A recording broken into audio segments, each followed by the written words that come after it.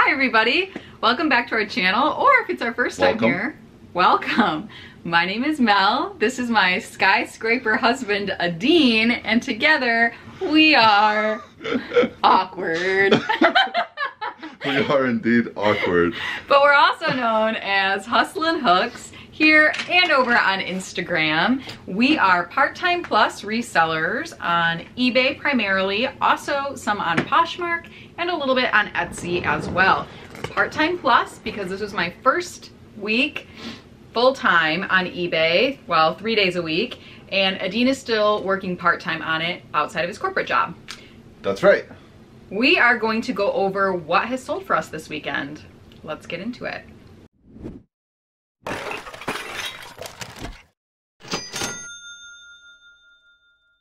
Before we get started, I just wanted to express some gratitude to everyone that's liked, subscribed previous videos, left nice comments, supported us in many different ways. So first of all, you know, thank you guys for doing that. That means a lot to us as we continue to grow our business, our YouTube channel, etc. If you haven't yet, do consider subscribing. We offer a lot of valuable information, number breakdowns, what sold videos, some hunting, thrifting, etc. We tend to explain things in a way where, you know, I think most people can relate and and make sense out, out of it. So do that. Uh, click the like button on the video. It does help the video as well. Um, the purpose of this one, it's our weekend sales. It's Sunday. Our kid is napping. We're gonna do as much as possible before she wakes up, and then we'll either conclude it most likely Monday afternoon or Monday evening, and then uh, we'll go from there. So let's dive right in. Yeah. Okay, before I get into everything, I wanted to throw out some thank yous uh, to people who have sent us a couple things. The first one is definitely going to go in our new office once it's done. Every day I'm hustling. Truth. Uh, this is from Bridget. She says that she found this while thrifting and she's a seasonal eBay seller and went full time two years ago. That's awesome, Bridget and she's loving our channel. Hashtag pots and pans. Thank you so much. We're gonna look at this every day once we're, we're up and running in the garage. The next one, I don't have to show you because it's in Jessica's room. Uh, she's been loving on it. Uh, it's a Polly Pocket accessory, actually, and that came from Flip the World, Texas. That's their website right there. He finds the craziest stuff in dumpsters. You guys have to go check him out. It is unreal. He has a YouTube channel and he's on Instagram. Uh, it's him and his wife. We'll also link his channel below so you can find it easier. Uh, that is Chris Stacy and a special little signature from their kid Riley. Thank you so much for that. It's helping me spread my love of Polly Pockets to Jessica. Also, shout out to Taylor. He is Naptown Hustle on YouTube. We'll link his channel below as well. He bought something from our eBay store and he just said he wanted to buy something to support us and let us know that he appreciates our videos. He says he's learned so much and we've been instrumental in starting his own YouTube channel. So that is awesome. Good luck on your channel. We're gonna link that below, like I mentioned. That's Naptown Hustle. And then the last thank you is to someone who prefers to remain anonymous. But if you're watching this, you know who you are. So thank you very much for everything that you've sent us as well. So now let's get into what sold. The first thing I'm going over is a Philips Magnavox. It's a five disc CD player. It did come with the remote. It's back here attached to the cord here. We picked this up at a Goodwill for about $13 and we sold it for 65 and it probably looks heavy, but it's actually not heavy. So that will probably only be around maybe 10 to 15 to ship out. Tottie's here too. I know some of you guys really enjoy saying hello to her. Hi, Toddy. Toddy, it's the internet. It's the internet's people, remember? They say such nice things about you, but they don't know how bad your breath smells. so there's Toddy. She's enjoying it. She's hanging out with us. On to home goods. This KitchenAid blender, we sold it all together. We did not piece this one out. Goodwill, $15, and we sold it for $69. It's not ultra vintage in style. They're just very heavy duty. This is heavy. There's there's some weight to this. So they last a while and they're just very good blenders. This one is the base, similar model, but we did part this one out. We have $5 into this part and it sold for $36. Continuing with the home goods theme, this is one of those Vision Corningware. It's the amber glass. We have $3 into this one and we sold it for $38. We didn't source it this year. As you know, we're starting to phase out glass. This Visionware we may make exceptions for though because it does sell pretty well for us. And then last home goods I'm going to cover, hashtag pots and pans. This is an Amway iCook and it's it's very difficult to see that logo. I'll kind of tilt it around. Maybe we'll get it in there. No, No. no, anyway, the eye is like a little person and then it's just cook. I cook. So got some good weight to it. They're made by Amway. Top quality, super clean. We found these at the bins. We found them separately, but it was $2 for the whole set, and we sold it this weekend for $60. That's a good flip. I'm going to hand it over to Dean. He's going to cover some more sales.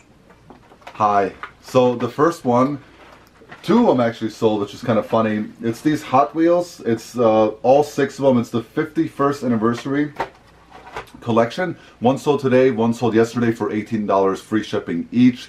I picked them up retail arbitrage, which is just a basic, a fancy term to say I bought something retail and then try to flip it for more. It didn't really work out because I got a dollar into each car, so it's only like a $5 profit. But that's the third out of five sets that sold so far. Really happy to see them go. A really big pair of boots sold. Uh, I paid up for these. These are Sorel. Sorel, of course, a fantastic brand. These are like new condition. Paid up for them, paid $25 because when I did my research, I saw that they were selling for about 90 to 120. Uh, we accepted an offer of $100 for these and they only took about three days to sell. So super happy to see them go. Another pair of shoes sold. This is uh, Brooks, these Cascadias. I couldn't find the number on them, but I know they were Cascadias because I found similar. If you see the treads are just in excellent condition. They're not the prettiest shoe, but hey look, 45 bucks out the door. We have $6 into them. Obviously happy to see that type of return, especially on a pair of sneakers. A third pair of shoes sold. These are Johnson Murphy. Not a great brand. Would not advise picking these up. Um, they're just the market is flooded, and you can find that out by simply searching the brand and then looking at how many are available, how many sold. It's just not a great seller, which reflects on how long it took for these to sell. They sold on an offer of $25 on Poshmark. Pretty good condition overall. It's just the the brand.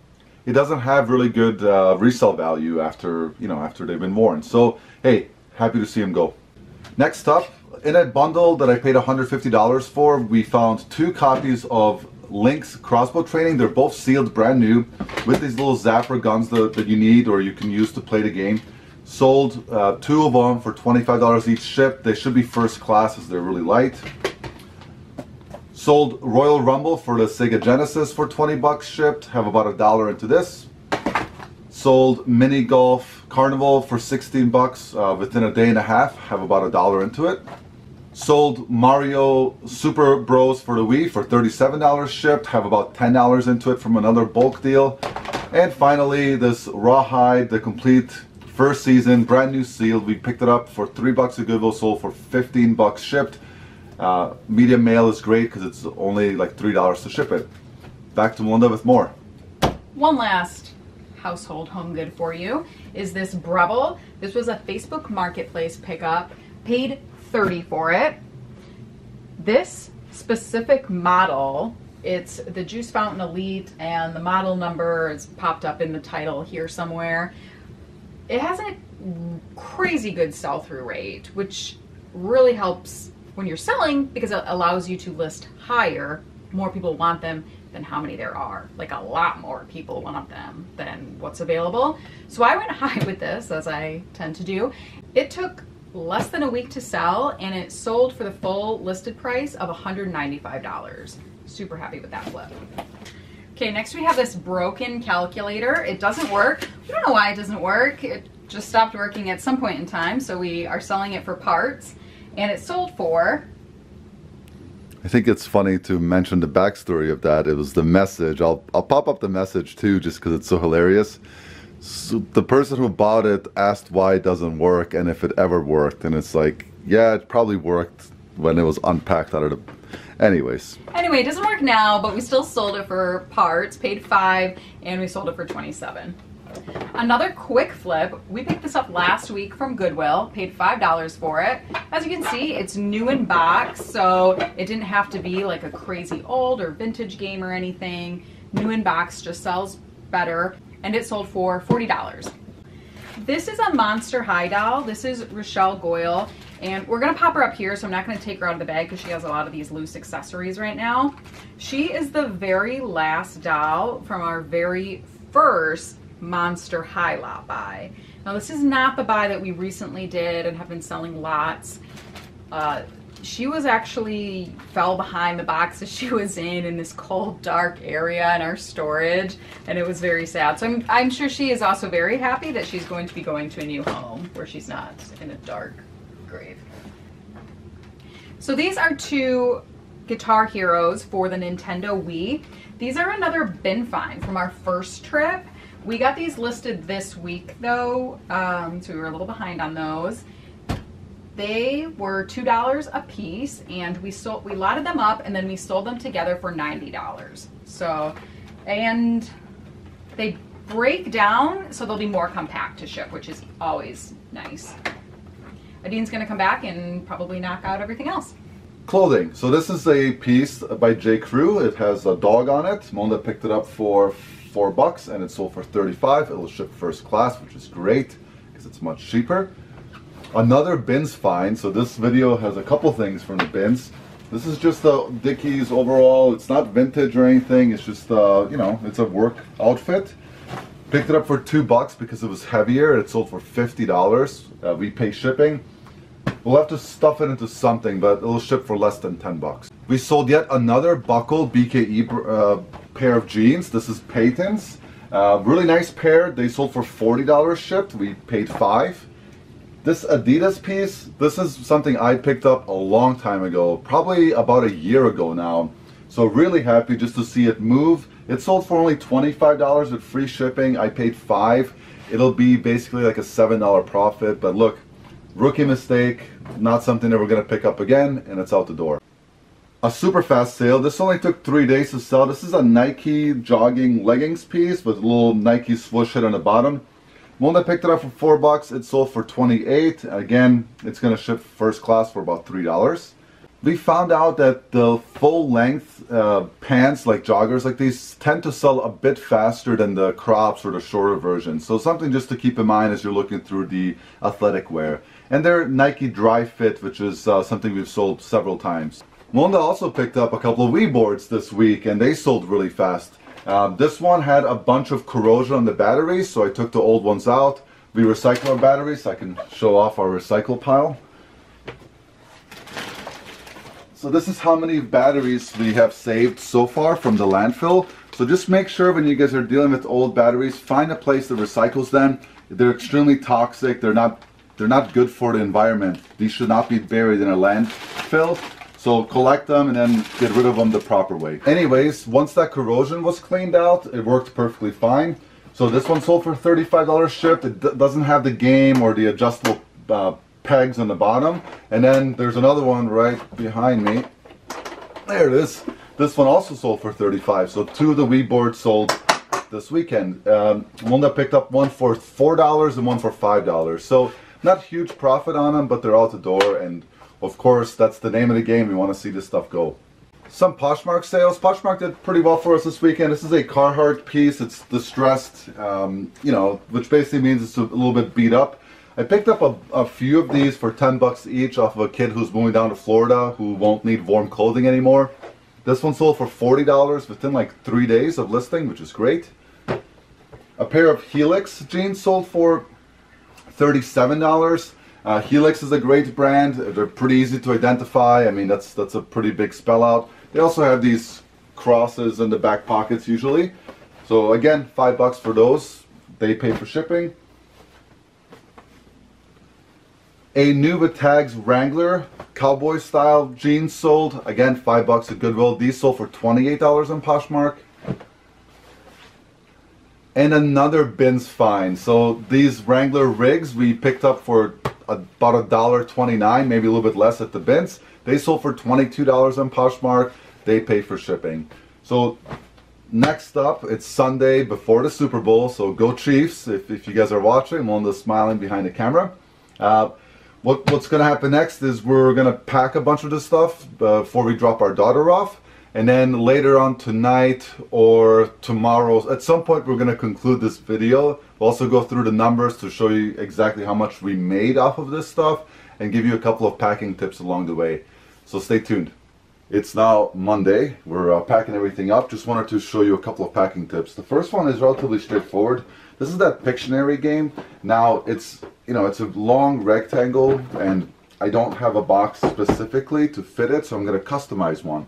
So I'm just going to use USPS shoebox. Now, this is just a USPS box. It's priority mail, so you have to put a priority mail label on it. But it's not a flat rate box, so you can modify the box however you want to as long as it ships USPS priority. So all I'm going to do is, I have one, I'm going to put it in. I'm going to use craft paper to get rid of the gap. And then I'm just going to have a second one ready. And all I'm going to do is squeeze one inside of the other. Obviously, after I put in the, uh, the packing material. And that should fit. It'll be a little snug. Push it down.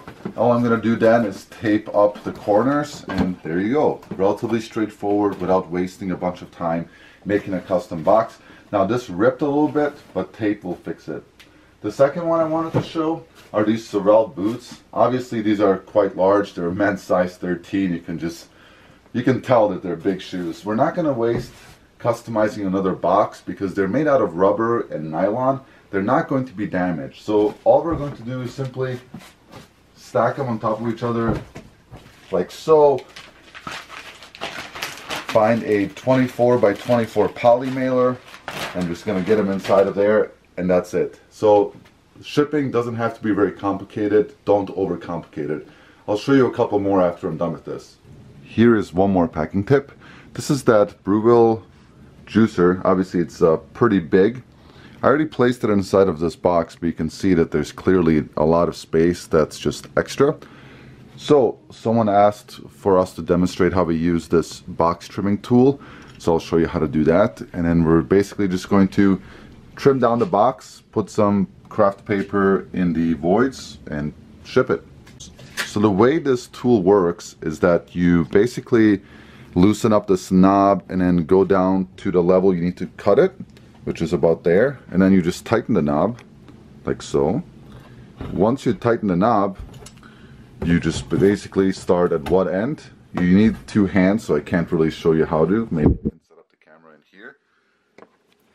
But basically, you just press on the top while holding the handle at the bottom and press in and then you just scooch it. So it leaves that crease. You do that all the way around and then I'm going to take my knife and I'm going to cut here and up and then I'm just going to fold the box in. So, so I'm going to do that real quick and show you what it looks like. Okay, now that I have everything creased, I'm just going to grab a blade, go there and go up.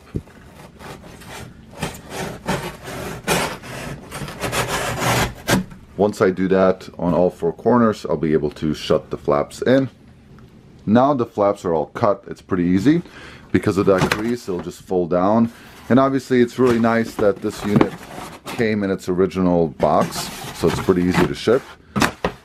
And then for any extra cardboard, I'm just going to trim it so it com completes the box. And that's basically it. Hopefully that helps you guys out with these bigger packages. Okay, we're done packing. This is what it looks like. This is our weekend sales. We did pack up a couple from today. Lots of nice small things, which is really good. And then obviously a couple of the bigger things. The juice machine right here was only $27 to ship, which is awesome uh, with FedEx. So let's go through all the numbers. All right, let's go over the numbers. So the gross sales this weekend was 1391 221 is what we paid for all of the items that we sold or cost of goods. We paid roughly $145 in fees across eBay and Poshmark. It cost us $271 to ship everything. Remember, we offer free shipping on all of our products. which left us a net profit of 754 of which we took 25% and set it aside for taxes, which is roughly $188, which then leaves us with a cash profit of $566 selling used stuff on the internet. That's going to do it for this one, guys. We really do appreciate you watching. Thank you for everything. Thank you for your support. If you want to check out that spreadsheet, we've talked about that in previous videos. That's linked down below so far all the folks that have been using it are really happy with it so we obviously are happy to hear that. If you have any questions on it send us a message or a comment below. Also leave a thumbs up. It really does help us and subscribe to the channel if you like this kind of content if you enjoyed it if it brought a smile to your face. And uh, we'll see you in the next one. Thank you